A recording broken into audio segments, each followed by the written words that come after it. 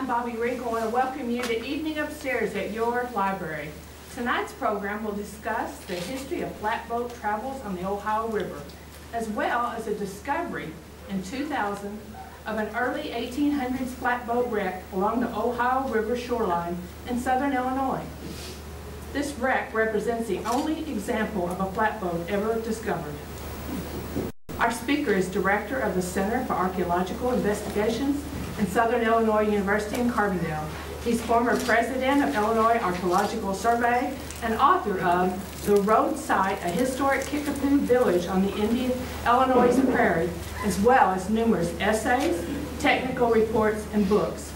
Let's welcome our guest tonight, Dr. Mark Wagner, as he discusses arks, rod horns, and hoop pole boats, the America Flatboat Wreck in Southern Illinois. Thank you. Well, how are you? I uh, hope you can all hear me. I haven't ever worn one of these before. Uh, before I start, this is John Schwegman here in the front, and he is the person who discovered the boat I'm going to talk about tonight. So, just as an introduction, John was the one who found it. Uh, flatboats, uh, a lot of people know about them, but they really don't know their history. And they were one of the most common boats on the Ohio and Mississippi rivers. And uh, they first appeared on the Ohio and the Mississippi about the 1780s. This is one of the oldest boat building traditions in the world, though. This was imported from England. People were building flat bottomed boats as long as about 3,000 years ago. And by the 1600s, they were building flat bottomed boats uh, in the colonies uh, in places like Virginia. But these things really didn't take off until the 1770s and 1780s when the settlers crossed over the mountains and they entered into the upper Ohio Valley around Pittsburgh and areas like that. And then these things just took off overnight and they became the most prevalent boat on the uh, Ohio and Mississippi. And this, the flatboat era lasted from around 1780 to about 1900. It, they lasted a lot longer than anybody ever thought they did. Uh, they weren't uh, keel boats uh, disappeared with the invention of the steamboat, but these boats kept on being built all through the steamboat era. Even, at, even as late as the 1850s, 1860s, uh, there are records of 5,000 of them docking in a single year at Cincinnati, Ohio. And probably in the whole era, from the 1780s to 1900, there were probably several hundred thousand of these boats were built. But the thing about them is they're one way boats and they float with the current. Uh, and so they're designed to go downriver but not come up. And the boat also is part of the cargo. So when you get to wherever you're going, the boat is broken up for its timber, and the people walk back home or they ride back home. Later on, uh, in the steamboat era, they would take steamboats back river, upriver, or they would even take railroads back upriver. So the consequence is uh, not a single one of these survives in a museum anywhere in the United States. And the reason is they were, they were disposable boats and they're made to be broken up when they get to their destination. And so, unless one wrecks, uh, you'll never find one. You don't know anything about them. And that's what's important about the boat that John found. It's the only example of one of these boats ever found anywhere in the United States, in the Ohio Mississippi River Valley. So, out of hundreds of thousands of these boats that were built, only one has ever been found. Now, there are probably other ones out there, uh, but they just haven't been recognized. So this, is, this boat gives us information that we don't get from anywhere else. And this is a, a scene that was done by an artist about 20 years ago. And it's pretty, pretty accurate, depicts a flatboat passing by. If you're familiar with the Mississippi, that's Tower Rock. Uh, over around uh, Jackson County, Illinois, in that area like that. Very famous landmark, National Historic Landmark. But this is pretty typical, showing you what a flatboat would have looked like. Uh, often had these upper cabins on them. This isn't very accurate with this guy holding this paddle on the side is not too accurate, but the guy in the back is holding a, a steering oar, which is the way that you would navigate these down the road, I mean down the river. And they also had these big sweeps on the side that they would use to try and, and steer the boat. They didn't power the boat with those things. The boats only floated with the river current.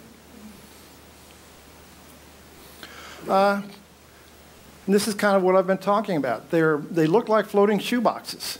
and they first appeared in the Ohio in the late 1700s. Hundreds of thousands of these were built. Uh, they're built by local settlers, and they're also built in commercial shipyards. Uh, and again, the flatboat era ended around 1900 when they started constructing locks and dams in the Ohio and the Mississippi River. And they were never outcompeted by steamboats because even, even in the steamboat era, if you were a local farmer, it was cheaper to build one of these things and just float down the river than it might be to get your produce down the river on a, uh, on a steamboat. So these things survived up until around 1900, and I've got some photos of some of the last ones that survived. Uh, this is a model that's in the SIU Museum, and it was built in, by WPA artists in the 1930s. It actually is really accurate, and it's so accurate that it may have been built, if you figure 1930s, this could have been built by somebody who actually saw a flatboat. And uh, the characteristics of a flatboat are, they, I mean, they're very similar to modern barges. They have flat bottoms, they have angled fronts like a modern barge, they have wood plank sides, sometimes they have cabins, and then they have these oars on the side for steering. Uh, who built them? Uh, like I said, a lot of them were built by local settlers. Uh, these things were built in virtually every creek along the Ohio and the Mississippi River. Uh, if you're a local settler in the early 1800s, there are no roads. The few roads that are there are not very good. Uh, the only market that they have for their produce is the Ohio and Mississippi River. So you've got to, whatever you produce, uh, corn, uh, pork, tobacco, uh, in some cases, slave states, slaves, uh, all sorts of produce that's carried down the river on these boats. And they're heading down to uh, the lower Mississippi to Natchez, places like New Orleans. Uh, by the mid 1800s, these boats started getting bigger and bigger in size. And they started getting built in commercial shipyards by the mid 1800s. But this is, you know, a pretty famous account. Abraham Lincoln himself built or worked on at least two different flatboats that went all the way down to New Orleans. And this is actually, I used to have a clip from this movie. Uh, Abraham Lincoln, there's actually a movie about Abraham Lincoln's voyage, a silent movie, uh, that was made in the early 1900s, showing Lincoln going down the Ohio River, or, well, actually, probably would have been the Mississippi River. And uh, this boat is actually pretty accurate, and it may actually be a real flatboat that survived in the early 1900s. The only bad thing about it is this steering oar in the back, or this, yeah, the big steering oar in the back, which is just laying in between two sticks. It's got nothing to hold it in place. So that's not very accurate, but the rest of it is pretty accurate. Uh, how do you build one of these boats? Well, every local settler in every creek valley probably knew how to build one of these things. They're using the same technology that they use to build log cabins. So they're very simple boats. Uh, I could not build a sailing ship or any sort of a boat that's got a keel on the bottom or got curved sides to it, but I could build one of these things. All they are are very simple boxes, and they're building them with the same tools that they use to build log cabins. So every, you know, virtually everybody knows how to build one of these things. Uh, they start out, they get a big tree, and they split two long boards out of it for the sides of the boat. But what they do is they start building it, when they build it, they start building it upside down. And this is part of uh, building fl flat bottom boats all over the world. Uh, and they do that because they want to put a bottom on that's flush to the, to the boat. So when they, they build it upside down first, and then they'll put on the plank floor to it, and these things are held together with wooden pegs. Uh, once you get it like that, you have to drag it down into the river to, uh, to get it flipped the right way up. And what they would do is they'd hook oxen to them. Maybe they'd hook up some sort of a rope over a tree limb. They'd drag these things down into the river upside down. And so the, the hull would be floating upside down in the river. And they might build, uh, you know, like a, a, plank side on one side. They'd put a lot rock, rocks on one side of the boat. Eventually, it would be weigh so much it would flip the boat upside down. I mean, right side up and then they would tow it back up to the back up to the shore, and they'd start on the superstructure like that. And this is showing that sort of thing going on here, where initially they started out with a boat upside down, flipped it over in the river, hauled it back up on shore, and then they started putting up the upper part of the boat. These are sort of tools that you need to put one of those together, and they're very simple tools. Uh, you need a caulking mallet and a chisel. And these sort of things are standard uh, tools that you have to carry on a flatboat. Uh, the reason is you have to caulk the seams to make the boat uh, watertight. And they use something they called strandum oakum. They would take ropes apart, like they're showing up here. They'd twist it and they'd make a fiber, and then you would drive the fiber in between the seams, and then you would take uh, tar or melted pitch and you use that to seal the boats, the seams. But uh, all the books regarding flatboat travel advise people to carry caulking irons and mallets with them on the flatboat because the problem is if you got stuck or you got stranded or you ran it up on a sandbar, uh, it would dry out and the steam, seams would start to split open again. So you would have to recaulk the thing. And if you didn't have a caulking mallet and an iron with you, uh, you know, you, you're, you would be stranded there forever, wherever you ended up. These are all examples of flatboats. Uh, there is no right way to build a flatboat. These things are all, or at least the ones that are being by, built by settlers, are being built in local building traditions. And it's like a grandfather teaches a father, teaches his son how to build these things. So there's probably a different building tradition going on in every different creek. So there's really not a right way to build one of these things. Uh, of these, this is probably, the, uh, this one is done from life and it shows one with high plank sides. They've got the steering oar off the back. They've got guys on the sides who are working the sweeps, and those aren't to power the boat, but they're there to help steer the boat, just like this big oar in the back, because again, they're floating with the current. But then we have accounts of boats like this uh, that are real simple. Uh, all they've got on them maybe is a little tent or a cabin. They don't have that big cabin like this one is built, and this one the cargo is down inside of it. And these are some other examples. Uh, this one is not too accurate, but you see it reproduced everywhere. But it just kind of gives you an idea of the sorts of things that people would care, carry on these boats. Settlers would carry their livestock with them. So if you're moving down from like going down the Ohio River, you might carry your horses with you, you might carry your cows with you, you might carry your pigs with you, things like that. Uh, this is a lithograph done in the 1850s. Uh, this is a, a real famous uh, painting by George Caleb Bingham, and they, they re- reproduced it like crazy on all these lithographs they'd make. But again, it shows you a pretty good idea of what a flatboat looks like. This thing sits pretty deep in the water. It's got high sides. It's got a cabin down there. It's also, you can get into the cabin through the top up like that. And again, they've got those big sweeps on the side. And sometimes these boats would have, they'd have anywhere from uh, maybe three sweeps. If you had a if you had a small boat, you might only have the one in the back like this one, and two on the side. You get a bigger boat like this one, it's got five because it'll have another pair on the other side. And sometimes they even have a big sweep in the front. So might, they might have as many as six sweeps on a really big boat.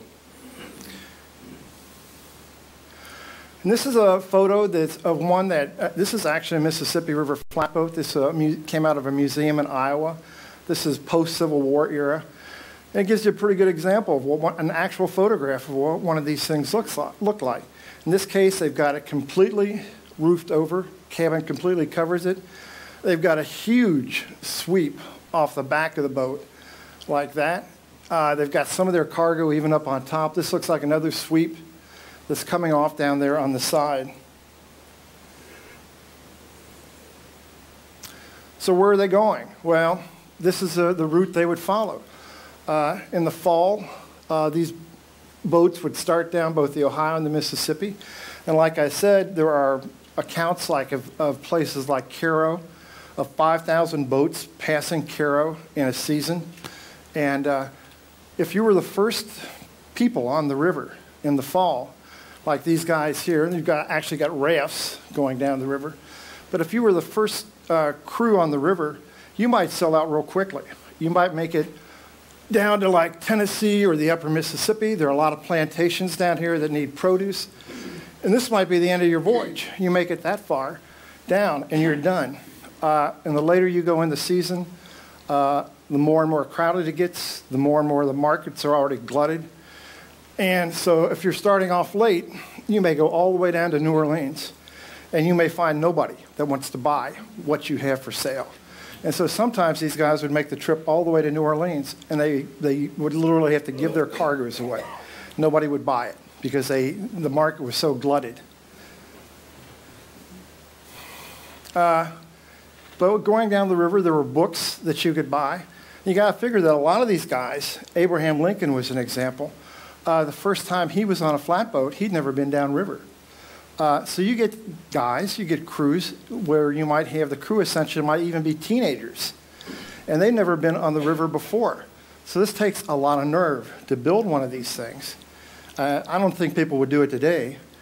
And you know, you, all you know is that New Orleans is downriver somewhere, and they get on these boats and they start down the river. And you could buy guidebooks like this. This is made by a man, very famous book called by, by a man named Zadok Cramer and he operated out of Pittsburgh. And he actually made one or two voyages by himself down the river.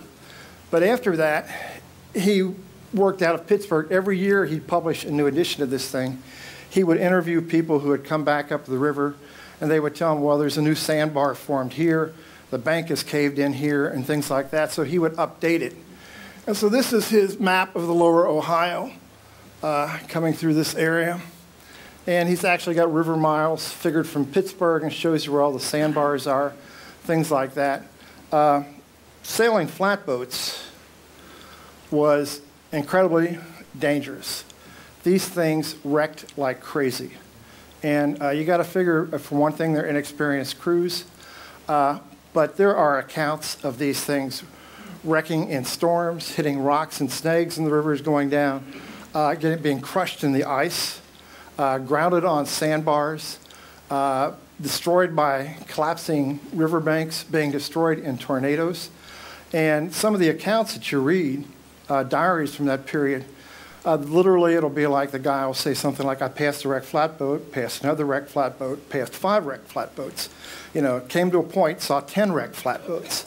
So these things are wrecking like crazy going down the river. The river is very dangerous. There's, an, there's one account by uh, Timothy Flint, he's talking about being in the 1820s on a storm on the Mississippi River where uh, he's traveling with, uh, I think they're traveling like with about 20 boats, and two of them get caught up. In, the, the Mississippi is flooded from uh, one bank all the way on both sides of the river, probably a couple miles wide.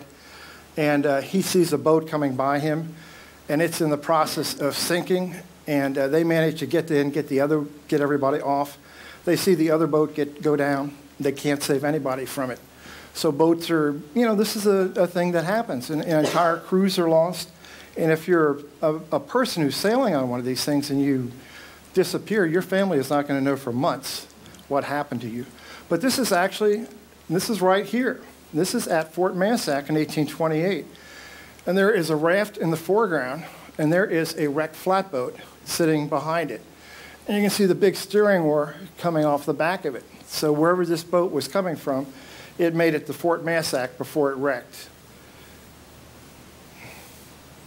Uh, the other thing, if you read Mark Twain's Life on the Mississippi, uh, in the steamboat era, these flatboats were run down by steamboats. And by law, uh, steamboat crews had to do this. I mean, a flatboat cruise had to do this. They had to have a lantern on at night to warn steamboats of where they were. Well, a lot of times they ran dark in the night. Uh, they wouldn't do this. Uh, Mark Twain said the reason is because they'd be doing what these guys are doing. They're all down below decks and they're all drinking and gambling and they're running dark in the night. And, you know, a steamboat he was on, they ran down one of these flatboats. And uh, this is kind of an example of what you're seeing up here, this is actually by cave-in rock, where you've got a steamboat and a flatboat very close to each other. So they'd go down from collisions with steamboats also. Uh, Indian attacks. Again, this is down by Fort Massac. Uh, it, it was much more common in the upper Ohio River to have Indian attacks. This is near the end of what they called uh, the 20 Years' War for the Old Northwest.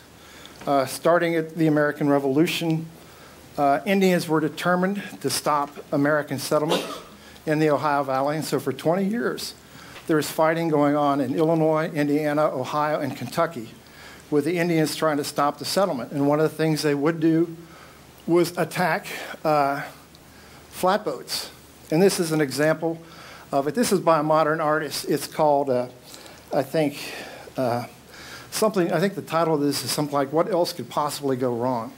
And what you've got are settlers who are stranded on flatboats out here, and they're trying to get their flatboats off the sandbar. But I think he, the, the artist means it in two ways. It, with the title, it's like, What Else Could Possibly Go Wrong? From the Indians' point of view, this is not a good thing either, because they're saying flatboat travelers on the river, which is not what they want. Uh, there are a lot of stories about river pirates on, on the Ohio and the Mississippi. And the, there were, in fact, uh, real pirates.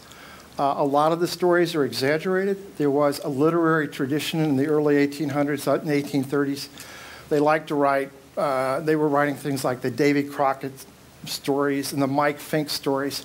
And they also liked to write pirate stories. They liked to write about, the one fictional pirate was called Colonel Plug, and they liked to make these up.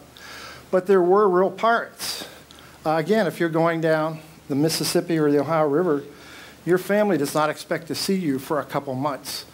Uh, so if some people, if pirates manage to get on a boat and, and uh, capture it, uh, you know, they can take the contents of those looted flatboats and then go downriver to somewhere like Natchez and sell that cargo. Uh, on the way back, uh, there's also accounts of people walking back home from New Orleans on the Natchez Trace, and they're being attacked by pirates and robbers because they know they've got money. So that sort of thing it can happen. This is a, a, a, a little uh, drawing from about the mid 1800s showing something like that of a, traveler being murdered on the Natchez Trace. Uh, there are a lot of stories about cave-in rock here, and a lot of those stories, again, are exaggerated. Uh, and the reason for that is Cave-in Rock is such a prominent place. Uh, everybody stops at Cave-in Rock. And when you read all these accounts of flatboat trailers, every single one stopped there. So you've got thousands of boats coming down the river, and it's such a prominent place that everybody stops there. So if you're an outlaw operating out of it, it's not the sort of place you really want to operate out of. Because if somebody reports they've been robbed and they say, I've been robbed at Cave-in Rock, they know exactly where to go to get you. They know where you are at. But there was one real pirate who set up at Cave-in Rock, and he's the source of all the stories, and that's Captain Samuel Mason. And he set up at Cave-in Rock in 1797. And this is him, if you remember How the West Was Won. This is Walter Brennan playing Samuel Mason, although he was called Jeb Hawkins in the movie. And Samuel Mason was a captain in the Revolutionary War. Uh, he fought in the, uh, he wasn't in, didn't fight in the East, he fought in the West in areas like Pennsylvania, fought against Indians. Uh, he developed a really bad reputation uh, uh, after the war. He ran a tavern up in the upper Ohio. He made things uncomfortable for himself. Uh, he essentially was chased out of the upper Ohio River Valley, came down, he moved into Tennessee, over by Knoxville, uh, he and his family and his followers, where they promptly started robbing slave cabins. They were stealing things from slaves. And Colonel John Sevier ordered them out of East Tennessee. And so they fled to the lower Ohio and they set up at uh, Red Banks, which is now Henderson, uh, Kentucky. And they operated out of there for a number of years. And it's kind of like an Old West movie uh, he and his gang would they wouldn't do violence in town, but they would stop boats below town somewhere miles downriver, and they would they'd rob the boats. And there are we have accounts from court testimony about them robbing and killing people. And the constable in uh, uh, Henderson wouldn't do anything about it because he said, "My jurisdiction, what happens on the river, does not concern me." And so Mason was able to get away with this for a long time. And in 1795, uh, he and his gang uh, murdered the constable from ambush. And it, you know, it, it, did just like in a Western movie. They raised a posse and they chased him and his family out of Kentucky.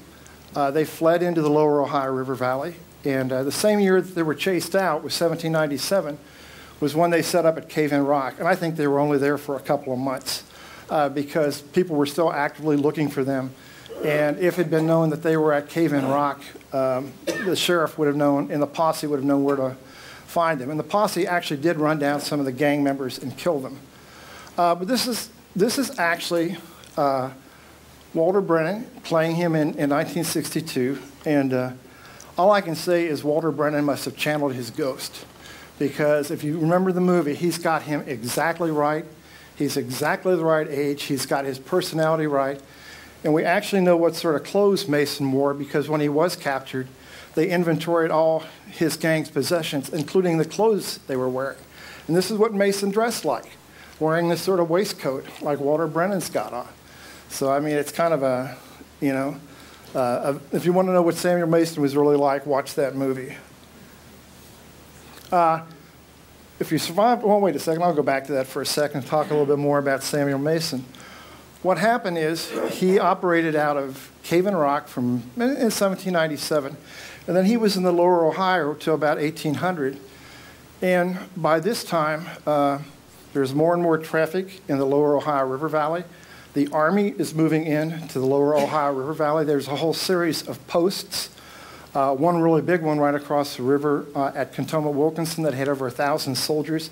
So there are military boats going up and down the river all the time. And Mason essentially uh, leaves the Ohio River Valley and he moves down into uh, what's now northeast Arkansas. And uh, he moved in there, and uh, oh, it was called the, I think it was called the Prairie Settlement. And uh, he and his family went there, and they promptly, oh, well, they had, first they had to get admitted. That was all Spanish territory.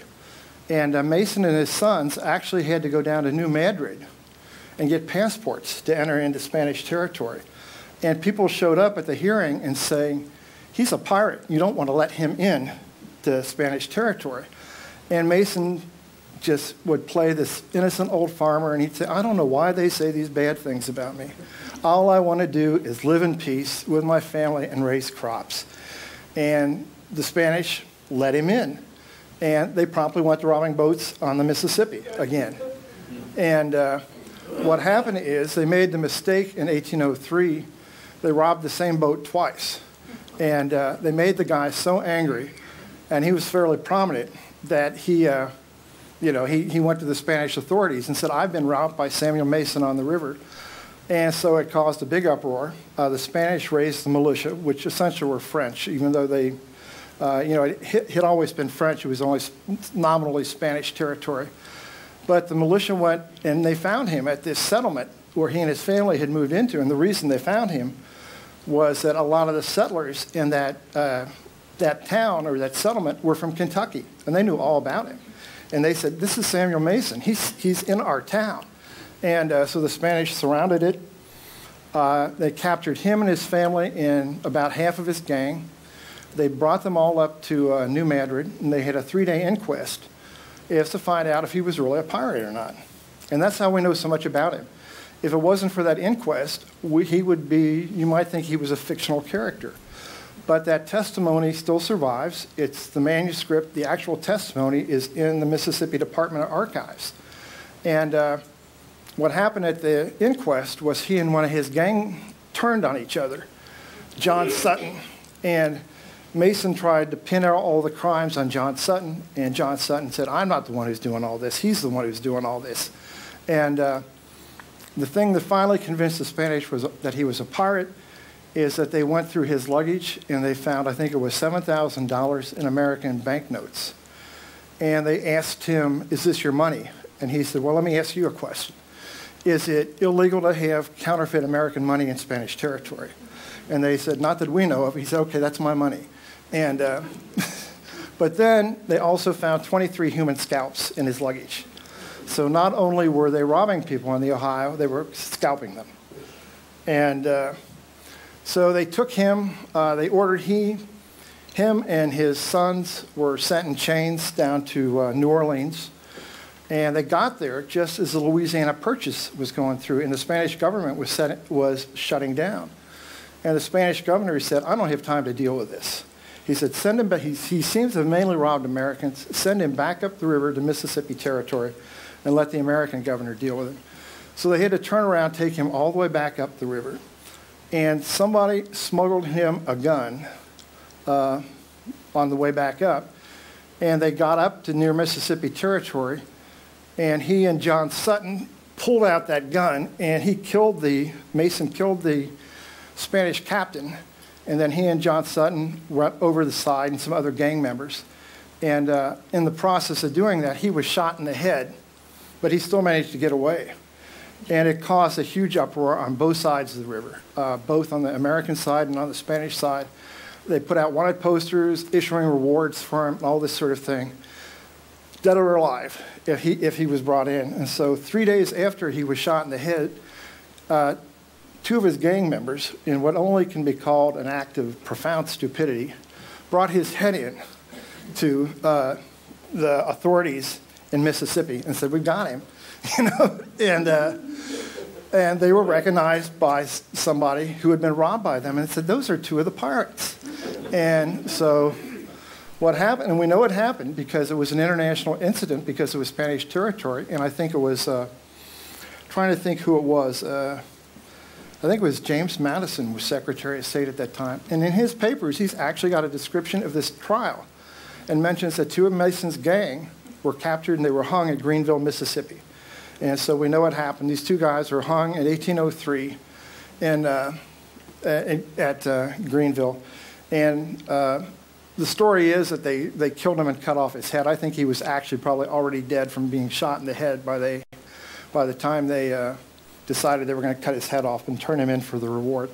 But his death pretty much ended organized piracy uh, on the Ohio and Mississippi rivers. There were other people after him, but there was nobody that operated on the scale that he operated on. So if you manage to avoid all that, and you get down the Ohio and you get down the Mississippi, uh, and this shows that going on. This is again as a painting by George Caleb Bingham, where they're down in New Orleans.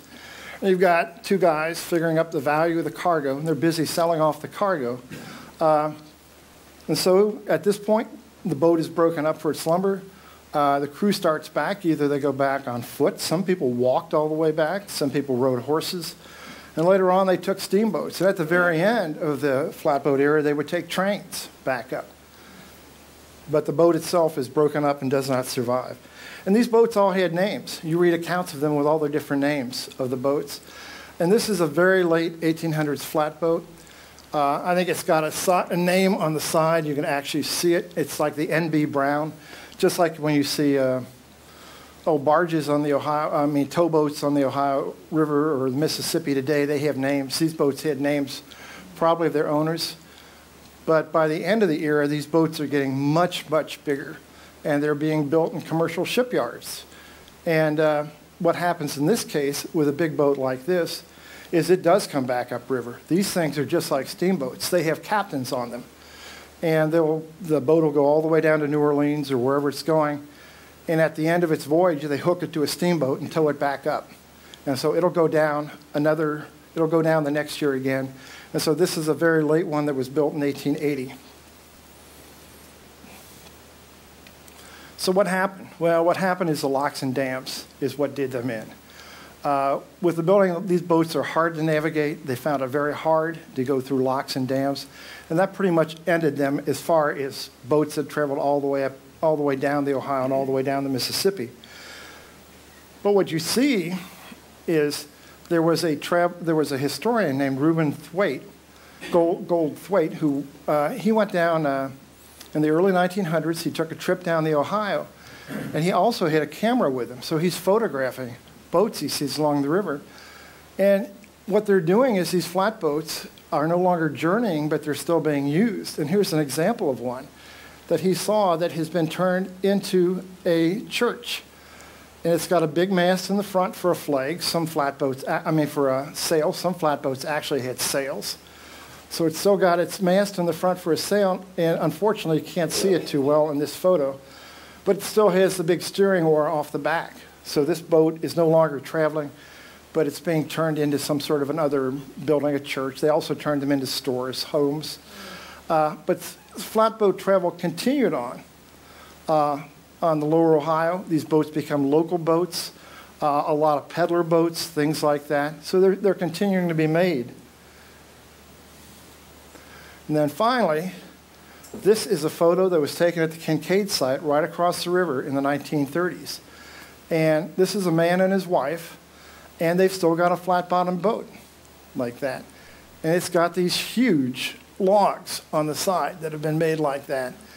And she's busy, I think she is busy making a net for fishing or something here. She's got some sort of a framework here where she's working it into a net in that framework. So you still got this flatboat tradition is still continuing on into the 1930s, and this almost certainly is some sort of a locally built flatboat being built by that man. And really, it never ended. Uh, the barges that you have on the river today are the literal descendants of these boats. So, really, the flatboat era never ended. Uh, it, they turned into barges, and if you ever look at the fronts of barges, they're angled just like a flatboat, except now they're being pushed by, uh, you know, diesel-powered boats down the river. Uh, and a lot of people like flatboats, so people build flatboats all the time. And uh, these are all examples of different ones that people built. Uh, you know, some are a little more accurate than others. This one is not bad down here. This one's pretty good. Uh, this one I wouldn't have wanted to be on. Uh, it's pretty overcrowded. Nobody's got a life jacket on. They've got Gilligan from Gilligan's Island over here on the side, you know. But I would not have wanted to be on that flatboat. Uh, so then we get into this, uh, the boat that John found. Uh, these boats wreck like crazy. So sh- they should be out there. Uh, part of the problem that they're not out there is that the Corps is constantly dredging the Ohio and the Mississippi, making it deeper. Uh, you know, so, so unless they're, unless you're fortunate, a lot of them may have been destroyed over the years. And again, this is that one that was, that was wrecked at Fort Massac in 1828 then this is a boat that John found. And the reason we know about it is that he recognized it for what it was. So a lot of other people may have seen this wreck but didn't know what it was. And this is the way it we called it the America. Uh, all these boats had names. And we just named this one after the town. It, it's by the abandoned town of America uh, in the Ohio River in Pulaski County. And it's only exposed when the Ohio is extremely low. It's so far down the riverbank. Uh, sometimes this boat is under as much as 50 feet of water, you know, and the, Ohio has to drop extremely low before it comes out. And this is how it appeared when we saw it. And you can see the two big sides of it sticking out like that. And the entire inside is all filled with silt and mud. It's only the very bottom of the boat. Uh, after John found it, uh, I went to the Illinois Historic Preservation Agency and said, you know, we've got this wreck. It's a flatboat. It's the only one that anyone seems to have ever heard about. Uh, at that time, the state of Illinois actually had money, and uh, not today. and they gave us a grant to go out and document it. And, uh, and that's what we're in the process here. And because nobody really knows how one of these boats were built, and this is the only one we ever have, uh, we concentrated on documenting the architecture and how it was put together. But this is what I mean about uh, how far this boat can be underwater. Sometimes that's the when the Ohio is high, it gets all the way up to there, comes out like that. So this boat sometimes is under 50 feet of water, and you can see in this case the difference between here that's dry and here that's wet. It's only been out of water for a couple days. Uh, and when we went, did go down to document it, we had to document it in less than, I think it was 10 days. It was exposed for 10 days, and after 10 days, the water was back up over top of it again. So we had to go in there fast and, and record it. Uh, we had students come in here uh, from SIU, and again, this is, shows you all the process of that. This is after we've cleaned it out, and you can see it's the very bottom of the boat. Uh, you can see the floor. Uh, these are all big one inch thick oak planks. These are the two big sides of it. it the boat is, uh, this side is intact and it's 40 feet long. So this boat would have been 40 feet long by 12 feet wide when it was built, which is kind of characteristic of an early 1800s flatboat. And this shows, uh, again, this shows that when it's completely cleaned out, and again, they had to build this upside down, so they flipped it up. And what they've done is they've got these floor planks, and they're pegged into these side pieces called gunnels. and they're pegged into these two long stringers and then cross stringers like that. And so that's how they're holding that boat together. And this is a map of it. And it shows how big it originally would have been. So only really only about half of it is out there. And then on the side, when we documented it, we found there was a ledge that had all these little holes in it. And what these are, they are the stanchions for the sides of the boat that the planks, the side of the boat is going to be nailed to, the wooden planks. And that, this again is going back to the model of a, of a flatboat that's in the uh, SIU Museum. So all we got was this of this boat, that very bottom. And what happened to the upper part? Well, actually, I'm saying here it's 12 feet by 45 feet long. What happened to the upper part of it? Uh, probably a couple different things could have happened. Uh, uh, sawn lumber would have been at a premium on the frontier. So some settlers who found this boat abandoned uh, probably would have dismantled it right away. Uh, and, you know, they get down to the bottom and, you know, they can't get the bottom out of the mud, but they could have very quickly dismantled that top part. Uh, the other thing that could have happened is that the Ohio could have risen very suddenly and swept off the top part of the boat and only left the bottom down here. And this is how they're holding it together again. Uh, and the sort of logs they're using, these things on the side are all hand hewn. They've got big axe marks on them. These are the oak boards on the bottom. All these oak boards, these are just real roughly cut logs running this way and that way. But there are wooden pegs that are holding every one of these boards is pegged into this one, and every one is pegged into this one. And that's how they're holding it to bottom together. There's not an iron nail in the single in the entire boat. It's all wooden pegs. Just like if you see some old barns, you see really old barns, they're all put together with wooden pegs. And that's, a, that's another indication that this is an old boat, that it didn't have any iron in it. But this is what I'm talking about with these stanchions. These stanchions have to go up, and the side planks have to be pegged into those. And this is what's going on here. These are the peg holes for the stanchions. If you look at them, uh, they're not round. This one's a lot smaller, and they get bigger, and they get bigger, and they get bigger. And what that is, is it's water action. Uh, this part has been sticking out for a long time, and the water action has eroded those little peg holes into these big, long elliptical holes. But there once were these stanchions went up to hold the upper side in place.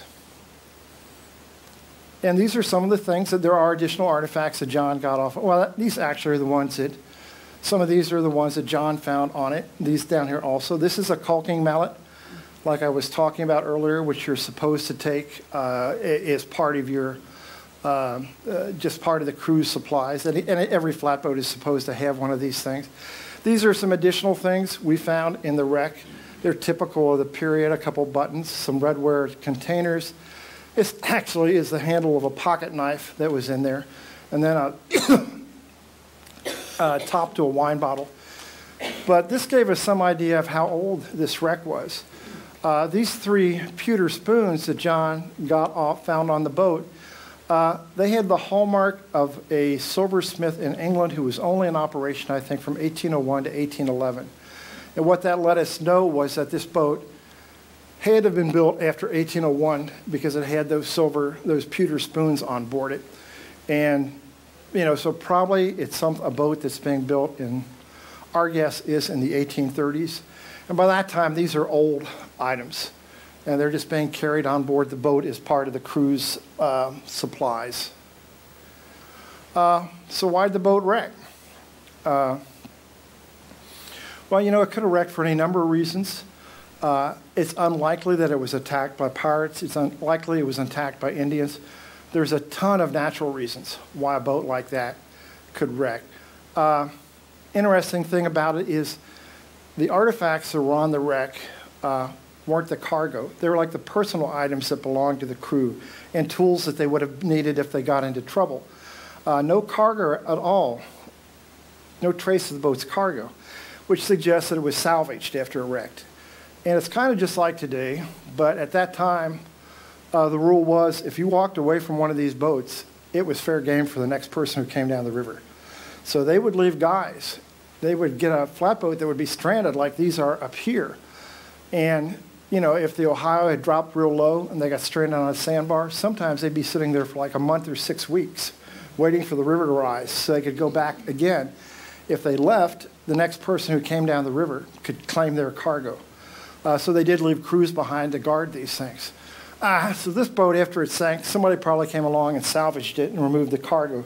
And all you're getting, going back to these things, they're things that were probably lying in the bottom of the boat they either were not worth salvaging or they couldn't be found because if the boat is partially underwater, they couldn't find these things, so they left them behind. so, this is an example of what happens what I was just talking about. This is a steamboat where they had to do the same thing. Uh, again, it's a, a, painting by George Caleb Bingham, but they had to do the same thing with flatboats. These guys, they've unloaded the cargo, and these guys have to sit there with the cargo to guard it until somebody can arrange to come pick up the cargo. And if you did a flatboat, you wrecked a flatboat, you had to do the same sort of thing. Uh, so this boat most likely wrecked from natural causes and was salvaged. Uh, one reason it could have sunk was poor construction. Uh, the boats that were built in commercial shipyards on the Ohio River were notorious for being badly built. Uh, a lot of it had to do uh, with the fact that these uh, shipyards up at Pittsburgh built these uh, boats. These are one way boats. Uh, so by the time somebody who bought one of these boats realizes it's leaking constantly at the mouth of the Ohio River, they're not coming back up the river to complain. And uh, Zadok Cramer, again, who wrote the guides, this is in 1803, and everybody talks about federal regulation today. He's urging that federal inspectors be stationed in the Ohio River shipyards to stop the criminal activities of the boat builders. So there are thousands of boats probably being built that are in bad shape and are not good boats if you're not building it yourself. And this shows a guy doing this. Pay, this is a different, not a flatboat, but a different type of ship. And this is a uh, shipwright. And he's drilled holes and he's putting in the wooden pegs to hold the planks to that stanchion. And this is what made us think that this boat sank from natural causes. Uh, when we cleaned it out, we noticed that there was a difference in preservation between this corner and this corner. This is the back of the boat. That would be the uh, left side, that's the right side. And the left side was perfectly intact. And you got to figure everything being equal, every part of this boat ought to be equally preserved because every, every part of it's being affected the same way. But when we looked at this joint over here, it was all rotted. And then when we looked at it closer, and you can't really tell it here, but the two peg holes made to hold this corner together do not connect. So it had been, whoever put this corner together made a bad joint, and this corner was not tightly sealed like this one over here. And so this thing was probably leaking from the beginning. And if you bought it in a shipyard in Pittsburgh, you wouldn't have known it because it would have had a stanchion sitting right above it. So they hid that bad joint on the thing. So what I think happened is that whoever was traveling in this boat, it may have been leaking constantly. When they finally get to the lower Ohio, it just gives way. This bad joint finally gives out. And either they're able to get the boat to shore or they, they go down partially in the river because of that bad joint. So they're sinking from natural causes. Uh, what can you do with it? Uh, in 2002, we had various people who were interested in it, uh, but you kind of got into local politics and state politics. And uh, this was in Pulaski County, and we talked about maybe removing it and putting it in Cairo and Alexander County because they have a customs house in Alexander County that's big enough to display this. The people in Pulaski County said, no, if it goes anywhere, it's going to Pulaski County. So they didn't want it removed uh, the state of Kentucky actually offered, or, or um, I'll put it this way somebody with connections in Kentucky actually offered, said he could raise the money to have this money this removed from the bank and preserved and displayed at the River Museum in Paducah. And the state of Illinois said, no, it's, it's in Illinois. And uh, so the state of Illinois would not let it go across the Ohio River. And the result is that it's still out there. And this is what we had to do in 2002. We tarped it up and covered it with gravel to hold it in place, tarped it and covered it with that. Uh, another problem with this boat is that uh, it has to be conserved. If you take a piece of wood out of the river that's been in there for 200 years, uh, it's water saturated. And if you don't preserve it, uh, what it'll do, it'll start to rot and twist out of shape. so the process of preserving it takes about five years, and it's an expensive process. There was no money for that. And finally, the other part of the problem is this wreck is 45 feet long by 12 feet wide, and very few museums want to dedicate a big room to display one thing forever. And so that's another problem. You, you're going to need an awful big place to display this. And finally, it was damaged in 2007 again. We went back out there at that time, found the river had come back up. It had taken the one side of the boat, completely flipped it out of place, flipped it crosswise across the wreck. We got an emergency grant from the Illinois Landmarks Preservation Council. Uh, we went out there with a backhoe and we dug a trench next to it, and we were actually able to pick up that side piece in one piece and buried in the trench, and we nailed it to, a, we tied it to a marker on the riverbank, which is still there. I saw it a couple months ago out there. Uh, so what is the future for this thing? Uh, I don't know. I did go out and see it about two or three months ago. It's still there, surprisingly. A little bit more of the front of it may be gone, but most of the back of it is still there and it's still covered up. Uh, and it's, it's a very important thing. It's the only one of these ever found. Uh, it's an important link to the early history of the Lower Ohio River Valley. It is not stable, uh, as that slide I just showed you indicated, where that gunnel, this piece here, is a piece that got flipped over by the river and was laying across the boat. So it needs to be removed from the bank uh, and displayed. And uh, unfortunately, there's no funds to do that at the moment. And this is a photo I like to use to embarrass my daughter, who's 21. That's her saluting in the river. And then finally, one last slide. This is, uh, these are nuns who are going down the river. I actually talked to the guy who built this, and uh, these nuns were reenacting uh, the immigration of their order to Indiana, and they traveled down the river by flatboat to Indiana. So they were reenacting like the 150th anniversary of their order's trip down the river. So you've got nuns on the river. So, all right. Well, thank you. If you have any questions.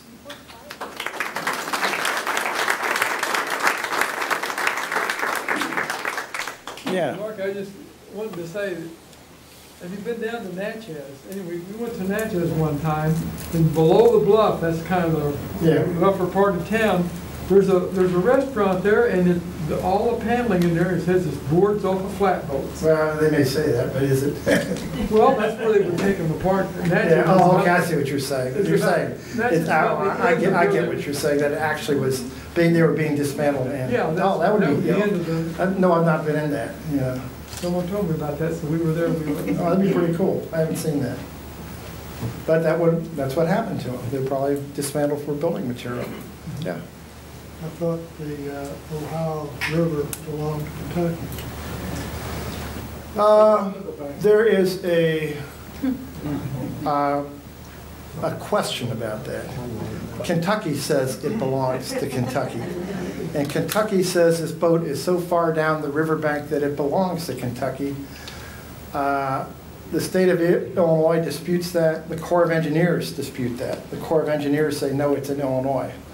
And, uh, and so we got into that, that's another problem with it, is who does own this boat? Who owns it, Illinois, Kentucky, you know? uh, I think it's something that you could resolve pretty easily, but at the time, nobody was willing to resolve it, you know? But yeah, no, we did go through that. The state of Kentucky actually made us get a, not only did we have to get a permit from Illinois, and this is a lesson to, if you find something on the riverbank and you think, uh, it, you know, like a treasure hunter, it doesn't belong to anybody, everything belongs to somebody, you know? And uh, what we got involved in, we had to get three different permits. We had to get a permit from the state of Illinois to do that. To make the state of Kentucky happy, we had to get a permit from the state of Kentucky to investigate it. And the Corps of Engineers, we had to get a permit from them because we were disturbing the riverbank, you know? So, you know, everything belongs to somebody. Some agency's got control over it. Yes.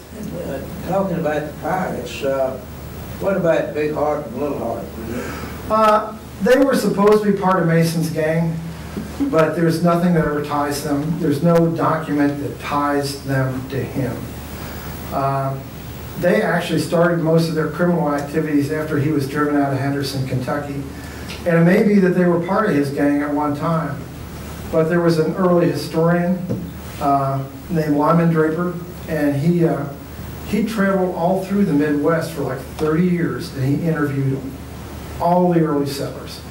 And he, and the only reason we know so much about like the Indian wars in Kentucky and Indiana, and Illinois, and Ohio is because Lyman Draper ran down, he ran down the Indians too, and interviewed them. And he ran, he was very interested in the Harpes, and he was very interested in Mason, and he could never tie them together. And he interviewed like Mason, one of the Harpe's wives, and he could not tie them together. And he presents them as separate stories, and he would have loved to have gotten them together, but he couldn't find any document that, that connected the two of them. The Harpes are very real, and they're as bad as Mason. Uh, there's no indication that they ever robbed boats on the Ohio and the Mississippi River, although, you know, it's possible they were part of his gang, but, you know, uh, it- it's interesting that they start, the, the Harpes start uh, killing people in 1797, the same year he's chased out of Henderson, Kentucky. So it almost seems like there's some sort of connection where all of a sudden the Harpes are on their own and doing things. Like if Mason was a very organized, he very organized criminal. It's almost like that these two have been let loose on their own and then they start on their rampage through Kentucky. But again, there's no document that ties them to him. Doesn't mean they weren't part of his gang, but there's nothing there.